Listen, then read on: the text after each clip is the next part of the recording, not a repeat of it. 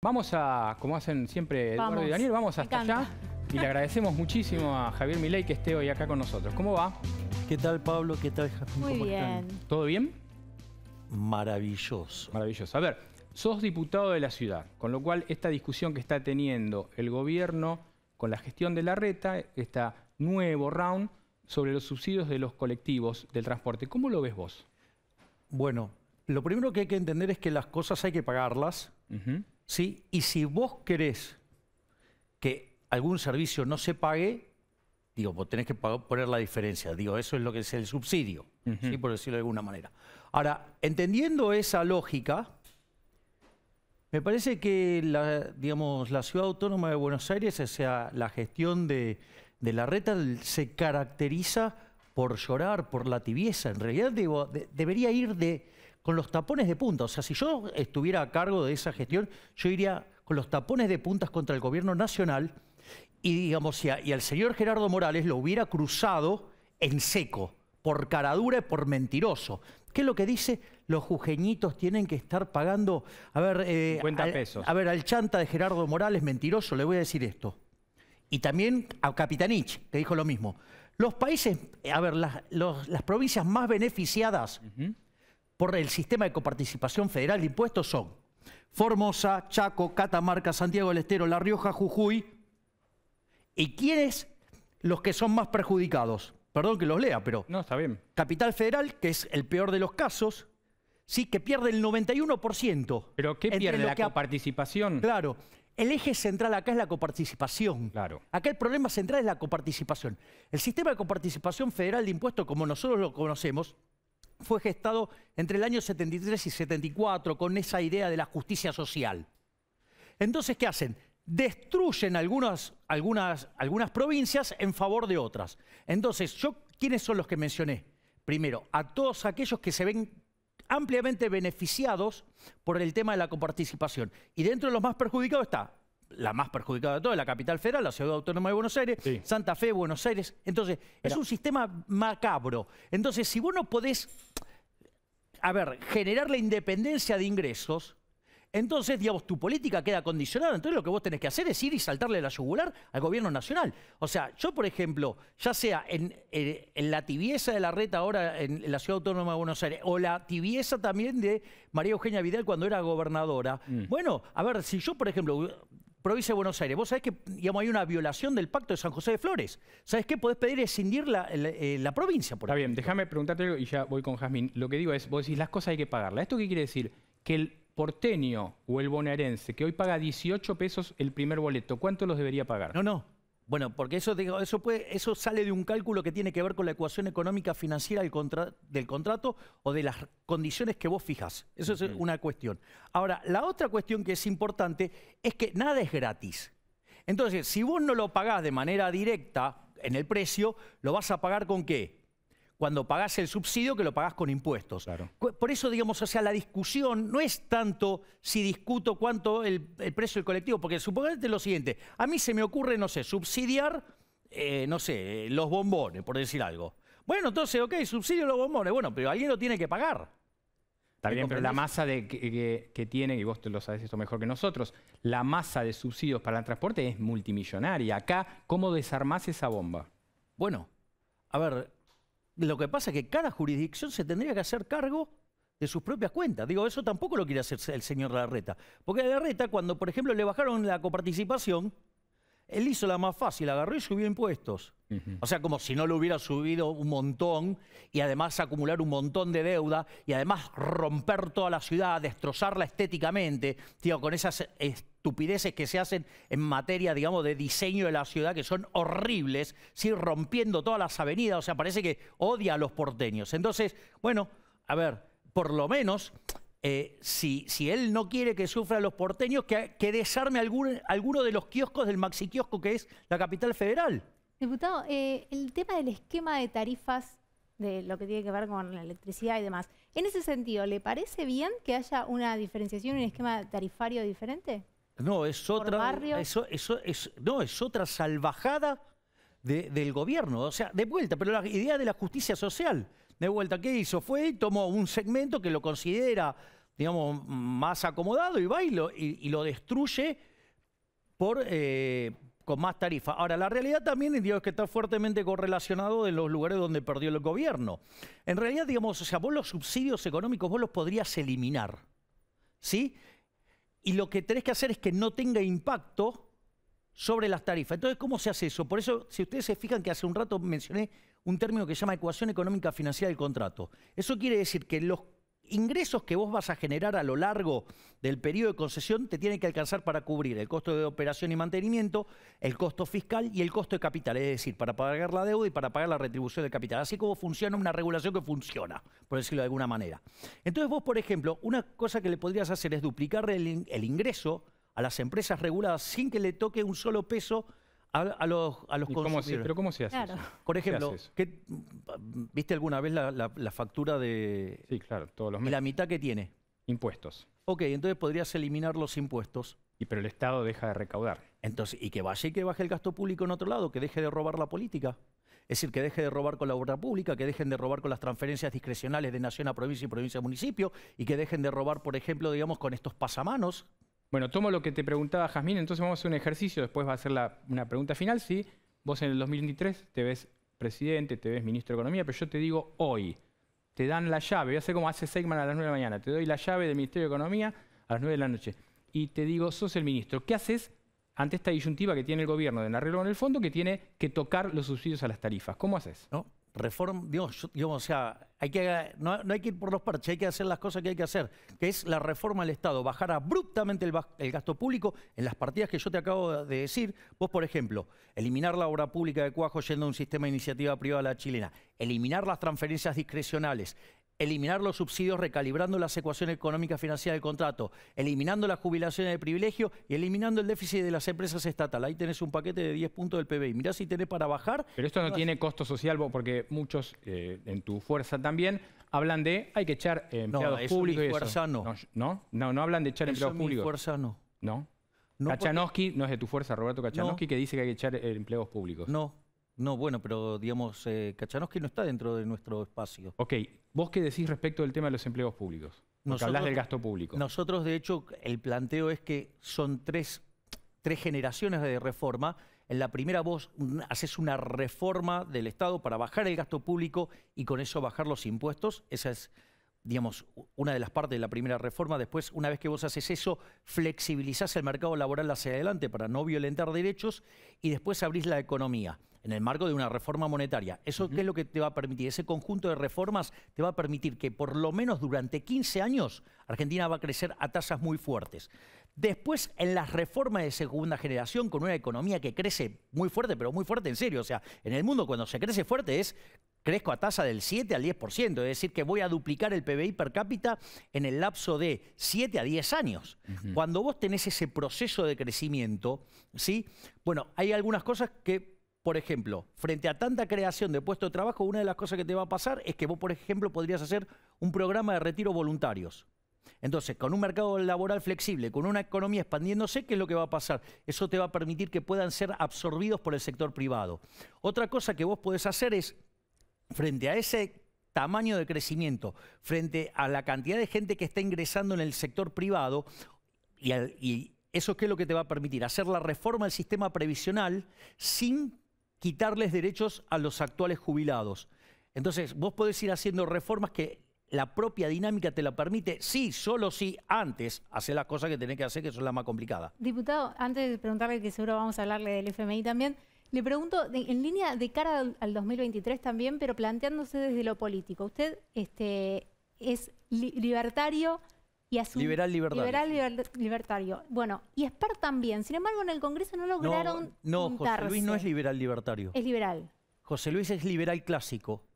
Esa es la diferencia de por qué no armaron un bloque junto, porque la gente a veces se pregunta, bueno, ¿por qué? Bueno, ahí, ahí eso explica mucho de nuestras diferencias, porque lo, el liber, él además pertenece a una familia de liberales clásicos, por ejemplo, que admite la existencia de fallos de mercado que tiene que ver con la tradición neoclásica a la Chicago, si vos querés. Y yo, digamos, soy liberal libertario en la tradición austríaca. Para mí no existen fallos de mercados. Ok, ahora, de cara a 2023, en donde estas diferencias por ahí son muy sutiles para las grandes coaliciones. ¿Tienen pensado, usted cree que así solo puede llegar a un 2023 competitivo el liberalismo? Si dentro de Juntos por el Cambio también pueden sumarse, hay algunos que le plantean reparos a usted. No, yo no, yo no, yo no creo en esa solución. Yo no creo en una solución dentro de Juntos por el Cambio. ¿Y entonces tu relación con Patricia Bullrich qué significa? Porque yo creo en otro formato de, solución política. a ver, yo lo que creo es que esas eh, alianzas electorales a los fines de ganar elecciones pueden ser muy exitosas para ganar la elección, pero un desastre para gobernar. El primer ejemplo de eso, ¿con quién lo tuvimos? Con la Alianza. Hicieron un, hicieron un armado ¿sí? Amplio, ¿para qué? Para ganarle al peronismo. Le ganaron al peronismo. ¿Cómo fue gobernando? Un desastre. Después vino Cambiemos. Se armó un frente hiper heterogéneo, ¿no? O sea, entonces vos tenés a, Macri, digamos, recitando en aquel momento, igual que ahora, liberalismo clásico, vos tenías, por ejemplo, a la Unión Cívica Radical, que es la Internacional Socialista, a las propias palomas de Juntos por el Cambio, que son socialdemócratas, y algunos con algunos tintos todavía más intervencionistas y que le gusta más el gato público, ¿sí? y la coalición cívica, que es más de izquierda todavía que eh, el radicalismo. En ese contexto, ¿Qué era lo que se buscaba? Que se le gane al kirchnerismo. Se le ganó al kirchnerismo. ¿Cuál fue el problema? El gobierno fue espantoso. ¿Por qué? Porque cuando uno quería ir para un lado, los otros querían ir para el otro. Mirá el problema que tenés, digamos, con las barbaridades que dice el señor Gerardo Morales. ¿Por qué no contestó, digamos, el señor Larreta a la barbaridad, a la aberración que dijo? Eh, pero, yendo a lo que te preguntaba antes, Jazmín, yo lo que digo, en el 2023 pero no tiene que ver con que no, va a estar hablando otra cosa. Yo digo, vos tenés una ambición. Entonces algunos me preguntaban, decían, che, va mi ley a la rosca, pregúntale si quieres ser presidente, pregúntale si quieres ser ministro de Economía. Vamos, ¿Qué querés ser vamos, en la próxima elección? Vamos, quiero tener un país libre. ¿Y cómo se logra? Quiero tener un país, digo, con las reformas que te estoy contando, ah, digamos, o sea, reformas pro mercado, es decir, como lo pensó Alberdi y Gorostiaga en la Constitución del 53, que se puso, en 1853, que se puso en funcionamiento en 1860, y de ser un país de bárbaro, en 35 años nos convertimos en la primera potencia mundial. Es decir, no solo que digo lo lograron otros, lo, lo, hicimos primero nosotros. O sea, nosotros mismos. Y esto digo, era bastante más complicado que ahora. Entonces, a lo que pero quiero volver a la, pregunta muy buena que me hicieron. ¿Cómo veo yo este problema en el fondo? O sea, yo creo que hay que agruparse por afinidad ideológica. Entonces, para mí tiene que estar de un lado los colectivistas, llámese las palomas de Juntos por el Cambio, o sea, Vidal, Larreta, sí, todo la tibieza, sí, con la, coalición cívica, con la Unión Cívica Radical y con los, y con los kirchneristas, porque de hecho... Pero vos estás diciendo entonces, corregime, Javi, si me equivoco, vos decís, yo puedo romper Juntos por el Cambio y hacer, llevarme a Patricia Bullrich y a Macri. A ver, yo creo, yo creo que, a ver, de hecho, vos fíjate que hay videos de la reta recitando keynesianismo, digamos, haciendo gala y, digamos, o sea, casi mojándose, hablando del gasto público y diciendo que los impuestos crean riqueza, una cosa verdaderamente bastante rara. Bueno, será por eso que nos cobra tanto impuesto y que después de las elecciones, después de que prometieron todos, nos subieron los impuestos a los porteños. Pero digo, al margen de, ese detalle, y del otro lado, ¿quiénes quedarían? Sí, aquellos que defienden las libertades individuales, la, la, verdadera república. Entonces, en ese contexto, ¿a quiénes tendrías? Tendrías el espectro liberal, o sea, desde los liberales clásicos hasta los libertarios, tendrías a, distintas expresiones del peronismo, como el peronismo republicano, como el peronismo federal, como el menemismo, y obviamente, no te voy a escapar a la, respuesta, muy bien. a los halcones, con los cuales además me llevo muy bien. Macri, Patricia Bullrich, Pichetto, ¿voy bien? Sí. Jazmín, sí. ¿eso es? Sí. ¿Vos con ellos irías a una opción electoral en el 2023? Sí, claro, para ganarle a los colectivistas, sí, claro. Recién nombró a los menemistas. Eh, hoy estuvo en el aniversario de, un año de la muerte del expresidente Menem, se abrazó con su lemita, fue muy, muy comentado ese abrazo. ¿Qué, representa ese abrazo y si sostiene esto de, que fue el mejor presidente de la Argentina? Definitivamente, lo ratifico. Menem fue el mejor presidente de la historia argentina. Cuando vos tomás, hay un trabajo que se llama Passing the Back que eh, fue escrito por Gerardo de la Pablera, Bosoli e Irigoyen. Se desarrolla el índice de presión macroeconómica. Entonces tenés un indicador por el cual podés comparar a todos los gobiernos de la historia argentina. el mejor gobierno de la historia argentina es el primer gobierno de Menem. Por lo tanto, digo, no solo digamos que, que lo En digo. lo económico. Bueno, está bien, digamos, o sea, yo puedo opinar de las cosas que entiendo, o sea, de las otras estoy aprendiendo, por decirlo de alguna manera, y me asesoro con los que sabe. O sea, no, no, digo, no, no voy a entrar en Está bien, pero las privatizaciones salvajes fueron parte de lo económico. las privatizaciones, digo, o sea, eh, a ver, cuando Menem llegó, en invierno no teníamos gas y cuando había era de color naranja. Cuando Menem llegó, en la luz nos cortaban la luz. O sea, eh, había apagados programados que después, cortes programados, que después no se cumplía y terminaban durando muchísimo más, ¿sí? y nos quedábamos sin luz en verano, cuando más necesitábamos. Es decir, todo era un desastre, digo, todo funcionaba mal. O sea, a ver, vos para recibir una línea telefónica tenías que esperar 30 años, o sea, todavía está, digamos, o sea, cuando, por ejemplo, Alfonsín festejaba con el plan Megatel porque alguien le recibía un teléfono. O sea, 30 años para... A ver, esa era la Argentina devastada. O sea, y gracias a las reformas que se hicieron en, en los 90, a pesar de tener los salvajes de los kirchneristas destrozando todas las empresas reguladas, haciendo daños enormes, aún todavía tenemos luz, gas, Quiero hablar, quiero pedirle al señor director, y le doy unos instantes para que nos ponga un, video y con un audio de alguien que habló respecto de tu relación menemista, pero también te hizo una acusación muy grave que es Fontanet. ¿Lo podemos ver, señor director? Lo vemos. Dirán mal y los 10 mil dolarizados que cobran en dólares brindarán con Javier Milei. Es una idea genial la que tiene. Es un visionario. Dice que Menem fue el mejor presidente. Hizo volar Río Tercero. Un fenómeno. Hizo volar Telefónica, Telecom, un montón de negocios que hubiesen quedado para el país, pero bueno, ¿qué va a hacer? Él quiere ir ahí. Es lindo, ¿no? Con ese peinado que tiene.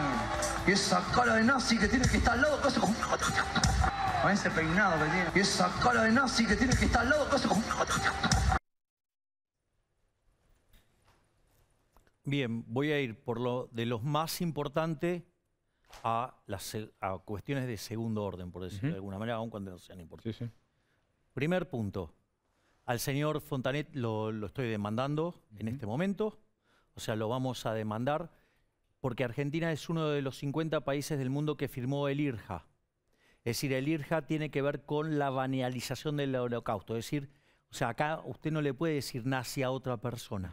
Es un delito, eso constituye un delito. Eso es lo primero que hay que entender. Por lo tanto, lo voy a demandar por banalización del holocausto. O sea, punto uno. Es decir, con esa aberración. Segundo punto, voy a señalar que el hombre habla de economía, eh, verdaderamente habla de temas políticos igual que de, economía, tampoco sabe nada. La realidad es que si yo quiero, digamos, eliminar el Banco Central, o sea, una y a la luz de la eh, moneda que históricamente eligieron los argentinos, seguramente vamos a quedar dolarizados, pero digo, eso es un problema de decisión de los individuos. Mañana quieren pasarse al euro, quieren pasarse al Bitcoin, es cuestión de ellos. Está bien, pero igual lo que digo es, esa es una discusión No, la no, que pero- está dando ahora que, que tiene bien, todo no, el derecho del mundo acá- decirte, pero decirte nazi o tener cara de nazi es una acusación muy no, grave. Vos la, vos la dirimís en la justicia. Yo la voy a dirimir directamente en la justicia. De hecho, digamos, también digamos, tengo cinco causas contra cinco periodistas que me, lo- me han dicho nazi. O sea, y digamos, o sea, eh, es más, eh, es más, hasta un caso se, digamos, se, se me dijo nazi hitleriano. Digo, o sea, se, in- se inventó una nueva categoría de insulto. ¿Y eso cómo lo resolves con los periodistas? ¿Aceptás una disculpa o querés otra cosa? No, no, no, no, no. Se van a tener que disculpar en el lugar y además me van a tener que pagar. Así, digamos, o sea, les duele donde el, el órgano más sensible, que es el bolsillo. Diputado, le quería consultar, eh, usted durante la campaña habló mucho del populismo y de este gobierno populista, y después cuando se sorteó su sueldo, bueno, pa- parece un gesto un poco populista, no sortear. ¿Qué, ¿Lo va a seguir haciendo los cuatro años de mandato que, que quedan? Y, Sí. A ver, voy a explicar. Hay- primero hay una, hay una cuestión de índole conceptual. Desde mi punto de vista, desde mi perspectiva filosófica, el Estado es una organización criminal, violenta, sí, que vive de una fuente coactiva de ingresos que se llaman impuestos. De hecho, los impuestos vos no los pagás voluntariamente, los pagás a punta de pistola, porque si no pagás vas presa. Digo, primer punto.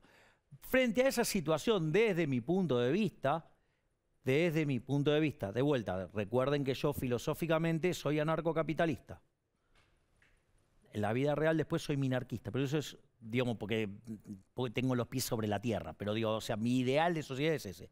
Frente a esa situación yo considero que ese dinero ha sido robado a la gente y lo que hago yo es devolvérselo.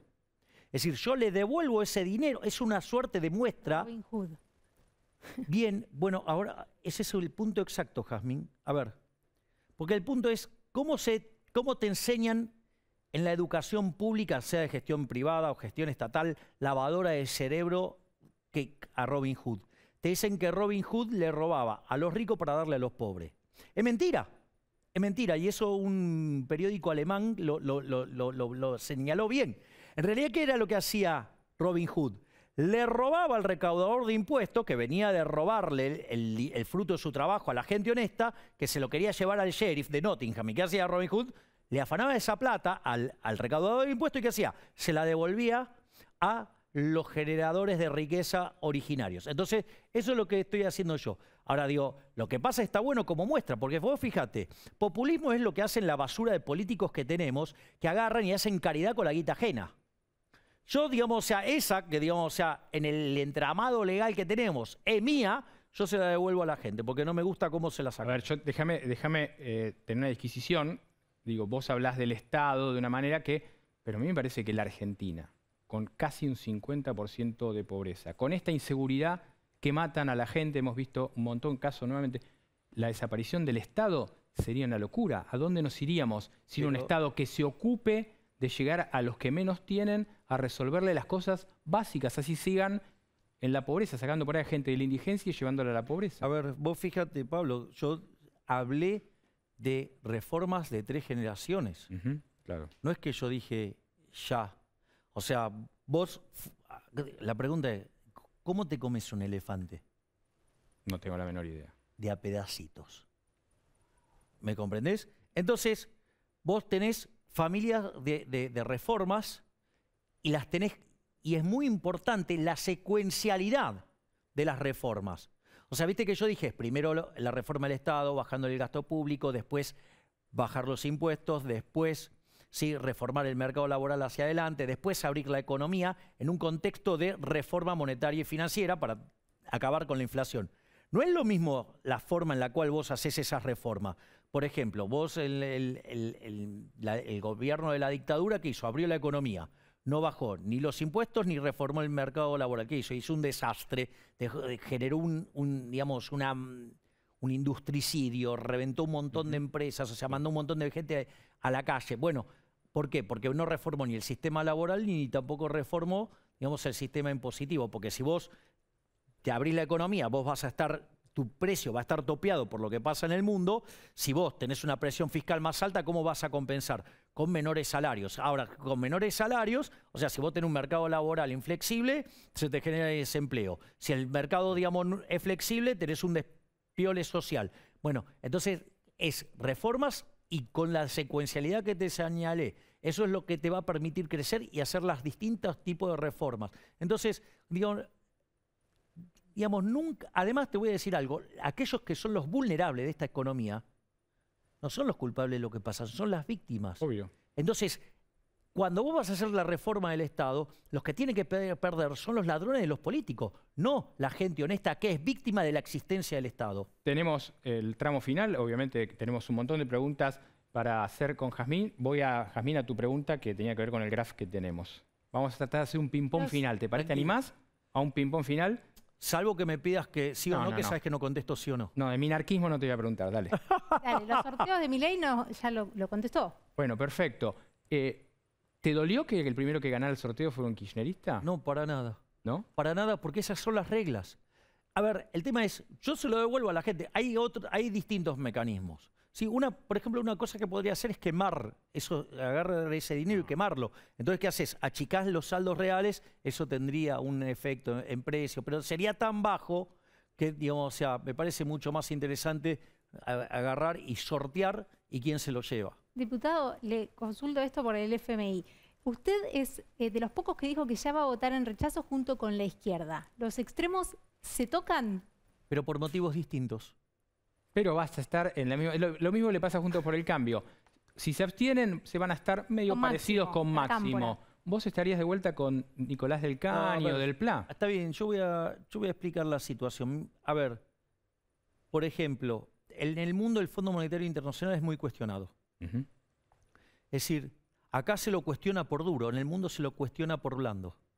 Es decir, a mí el fondo me parece hiperlaxo.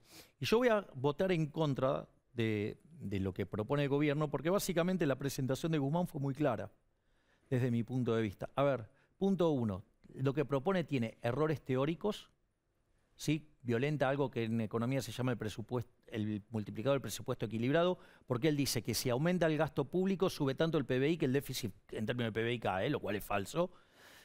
En términos empíricos es falso, porque eso en Argentina de los últimos 121 años se hizo durante 111, y de ser el país más rico del mundo, somos 70 al tipo de cambio oficial, y, y al, o sea, digamos, al dólar Mickey Mouse, ¿sí? y al, al dólar eh, paralelo somos 130, es decir, un escándalo, de, porque además tenemos casi 50% de pobres, 10, 11% de indigentes, por lo tanto, o sea, eso ya de por sí va mal. Y además, ese programa es recontracasta, porque aumenta el gasto público en términos reales y quiere decir que le manda más ajuste al sector privado. Por lo tanto, es inadmisible. Solo, solo aceptable por tibios como los de Juntos por el Cambio o gente vinculada a de- depender fuertemente de gobernadores como Morales, que quieren más plata nada bien, más. pero vamos a suponer que se impone tu posición, lo que te gustaba Jazmín, y se rechaza el acuerdo con el fondo.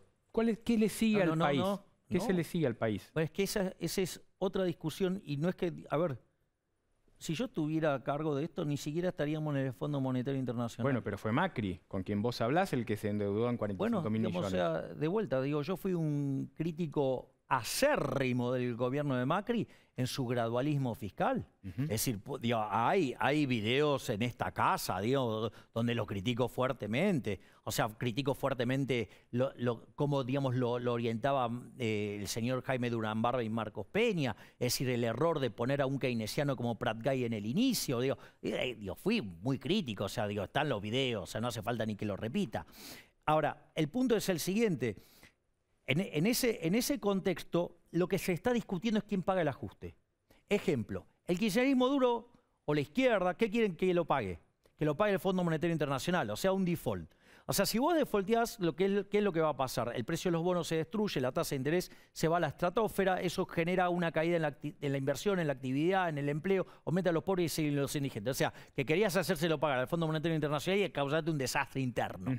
La otra alternativa que es el ala moderada del gobierno y Juntos por el Cambio, básicamente, ¿qué es lo que quieren? Quieren un acuerdo en el fondo donde saben que si se produce ese estallido se lleva puesta toda la casta política, entonces con tal de defender a la casta, ¿qué hacen? Le mandan un brutal ajuste al sector privado. Bueno, yo no voy a aceptar eso. Yo no voy a aceptar, digamos, o sea, dejarles pasar que, eh, que le vuelvan a meter la mano en el bolsillo a la gente, que nos empobrezcan, digo, porque además, o sea, ese programa va a ser recontra recesivo, no lo van a sostener y también va a explotar por los aires.